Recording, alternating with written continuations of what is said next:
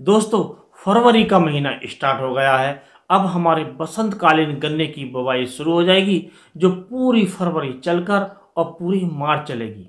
और हमारे कुछ किसान भाई, अप्रैल और मई के शुरू में भी कुछ गन्ने की बुवाई गेहूँ कटाई के बाद करेंगे।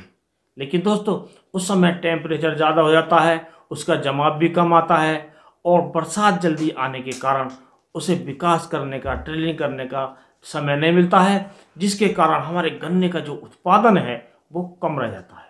अब ऐसे किसानों से अनुरोध है, जो गेहूँ कटाई के बाद गन्ना बोते हैं तो आप पहले से उसकी नर्सरी तैयार कर लें और गेहूँ कटाई के तुरंत बाद उस नर्सरी को आप रोपाई कर लें। यदि आप गन्ने की नर्सरी की रोपाई कर देते हैं तो आपका जो गन्ना है, वो 45 दिन, यानी कि डेढ़ महीने अगैती हो जाएगा।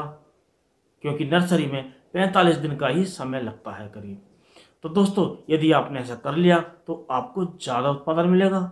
और दोस्तों, नर्सरी से संबंधित एक वीडियो हम लाने वाले हैं कि इसकी नर्सरी, यानी कि गन्ने की जो नर्सरी है, हम किस प्रकार तैयार कर सकते हैं। तो जो भाई चैनल पर नए हैं या जिसने अभी तक चैनल सब्सक्राइब नहीं किया है तो इस वीडियो को देखने के लिए आप चैनल को सब्सक्राइब कर लें। ताकि आपको जो वीडियो है वो समय से मिल जाए और उसकी सूचना मिलने पर आप वीडियो देख सकें। तो दोस्तों, जब हम अपने गन्ने की बुवाई करते हैं तो उससे पहले हमें अपनी ज़मीन की तैयारी कर लेनी चाहिए। जैसा कि सभी किसान भाई जानते हैं कि सबसे पहले हमें एक से दो गहरी जुताई करनी चाहिए और तीन जुताई हमें कल्टीवेटर से करनी चाहिए और उसके बाद एक अंतिम जुताई हमें रूटावेटर से करनी चाहिए। उसके बाद हम जिस विधि से भी गन्ना बोते हैं, उस विधि से गन्ना बोना चाहिए। और गन्ना बोते समय इसका ध्यान रखें कि आप बीज का शोधन अवश्य कर लें। और बीज शोधन करने की विधि का जो वीडियो है, वो चैनल पर आप देख सकते हैं और अपना बीज शोधन अच्छी प्रकार से कर सकते हैं। और दोस्तों, हमारे जो किसान भाई हैं, वो इसके जो पूरी करते हैं एन की पूर्ति जैसे कि नाइट्रोजन, फास्फोरस और पोटास की पूर्ति करते हैं। या तो वो डीएपी द्वारा करते हैं, उसमें एमओपी मिला लेते हैं, या एन पी के बारह बत्तीस सोलह की लेते हैं, उससे पूर्ति करते हैं। या फिर सिंगल सुपर फास्फेट, पोटास और यूरिया को मिलाकर उसका मिक्सचर तैयार करते हैं। उससे भी इसकी पूर्ति करते हैं। तो दोस्तों, आप जिस विधि से भी करना चाहें आप कर सकते हैं, लेकिन इससे पहले आपको मिट्टी की जाँच अवश्य करा लेनी चाहिए। यदि आप बुवाई से पहले मिट्टी की जाँच करा लेते हैं तो आपको संतुलित खाद पूर्ति करने में सुविधा रहेगी, जिसके कारण हमारा जो गन्ना है, वो ज़्यादा उत्पादन देगा, वो भी कम लागत में।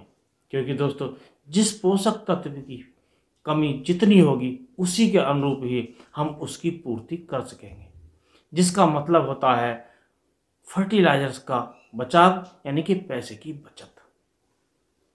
और इसकी पूर्ति हम जिस रूप में भी करें, लेकिन सबसे जो बढ़िया तरीका है, वो है सिंगल सुपर फास्फेट यानी कि एसएसपी और यूरिया और एमओपी का मिक्सचर बनाकर।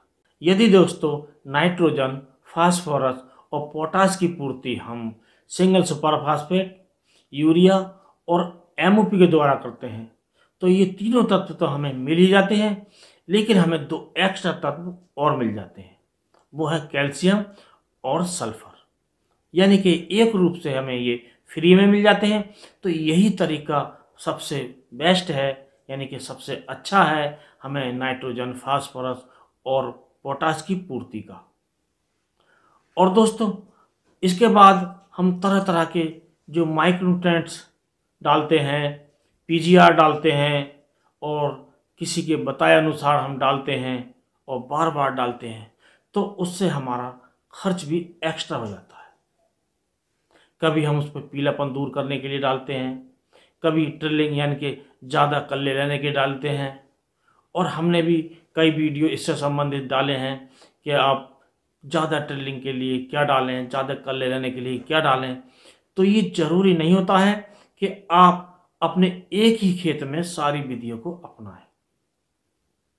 आपको ये प्रयास करना चाहिए कि एक खेत में केवल एक तरीका ही अपनाएँ, यानी कि एक पीजीआर ही यूज़ करें, या कोई एक दवाई, या कोई एक माइक्रोट्रेंट से संबंधित जो मिक्सचर आता है, उसका प्रयोग करें।